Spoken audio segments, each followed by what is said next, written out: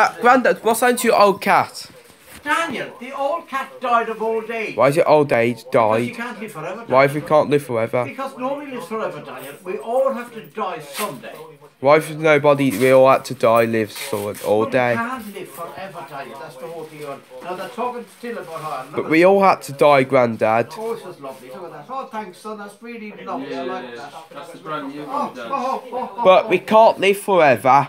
But can I talk? shall wear that today. Did you hear me? We all had to die. No, Daniel, you do have to die. Nobody can live forever, Daniel.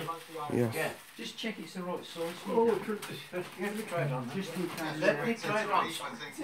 Let me try it on.